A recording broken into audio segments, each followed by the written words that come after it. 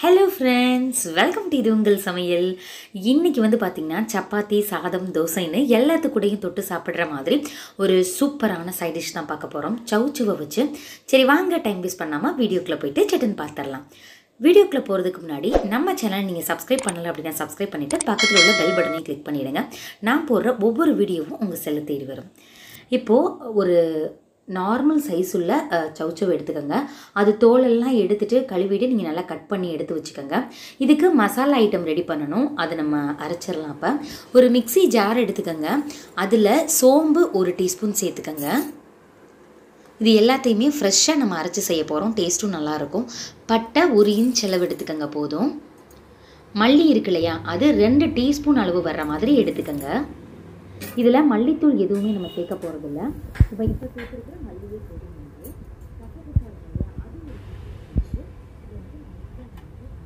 குறகுறப்பாக தான் இருக்கும்.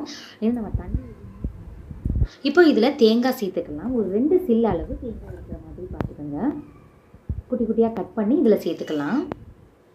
இது கூடவே ஒரு தக்காளி சேர்த்துக்கோங்க. சேர்த்துட்டு தண்ணி சேர்த்து நல்லா வழுவழுன்னு இருக்க மாதிரி அரைச்சி இந்த மாதிரி எடுத்துக்கோங்க. இது இப்படியே இருக்கட்டும். இதை ஓரமாக வச்சிடலாம். அடுப்பில் ஒரு பாத்திரம் வச்சுக்கலாம். நான் இன்றைக்கி மண் பாத்திரம் வச்சுருக்கிறேன். இதில் நல்லெண்ணெய் சேர்த்துக்கோங்க. மூணு டீஸ்பூன் அளவு நல்லெண்ணெய் சேர்த்துக்கலாம். உங்களுக்கு எண்ணெய் அதிகமாக சேர்ப்பீங்க அப்படின்னா நீங்கள் கூடுதலாக கூட சேர்த்துக்கலாம்.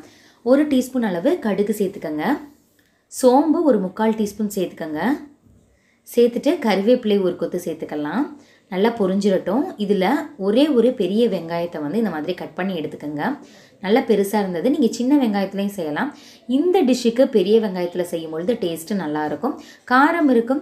இன்னொன்று வந்து இது நம்ம சப்பாத்திக்கு சைட் டிஷ்ஷாக தொட்டு சாப்பிட்றோம் இல்லையா? இந்த மாதிரி இதுக்கு நீங்கள் வந்து பெரிய வெங்காயம் போட்டிங்கன்னா லைட்டாக ஒரு ஸ்வீட் டேஸ்ட் வரும். ரொம்பவே நல்லாயிருக்கும் கலர் வந்து சேஞ்ச் ஆகிருச்சு ஏற்கனவே நம்ம அரைச்சதுக்கு ஒரு தக்காளி போட்டோம் இல்லையா? இப்போ வதக்கும் பொழுதும் ஒரு தக்காளி சேர்த்துக்கணும். குட்டியாக கட் பண்ணி சேர்த்துட்டு நல்லா அதை வதக்கிக்கோங்க. ஓரளவுக்கு இது நல்லா வதங்கிடட்டும். இதில் வந்து நம்ம இஞ்சி பூண்டு பேஸ்டெல்லாம் எதுவுமே அரைக்க போகிறது கிடையாது.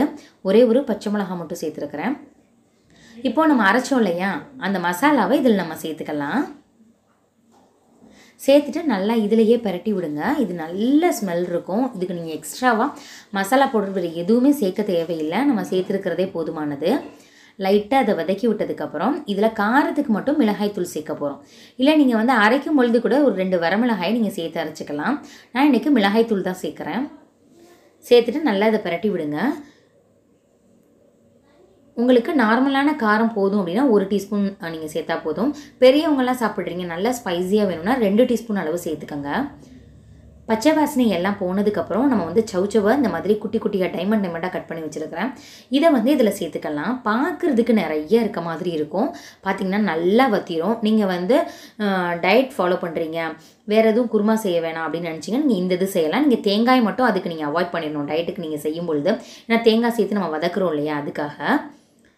இதை வந்து சப்பாத்திக்கு உள்ளே வச்சு நீங்கள் திக்காக செஞ்சு ரோல் பண்ணி கூட சாப்பிடலாம். கொஞ்சம் லிக்விடாக வச்சு கிரேவி மாதிரியும் தொட்டு சாப்பிடலாம். நல்லா வதக்கி விட்டாச்சு. இதில் உப்பு எதுவுமே சேர்க்கல.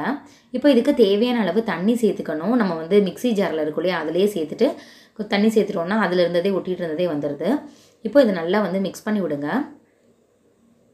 தேவையான அளவு உப்பு சேர்த்துக்கலாம். இப்போ எல்லாமே மீடியம் ஃப்ளேமில் தான் அடுப்பு இருந்தது. நீங்கள் இதை குக்கரில் செய்கிறதுனா கூட செய்யலாம். ஆனால் இந்த மாதிரி பாத்திரத்தில் செய்யும்பொழுது தான் ஓப்பனாக வச்சு செய்யும்பொழுது டேஸ்ட்டு ரொம்பவே நல்லாயிருக்கும் அதுலேயும் மண் பாத்திரத்தில் செய்யும்பொழுது டேஸ்ட்டு அட்டகாசமாக இருக்கும்.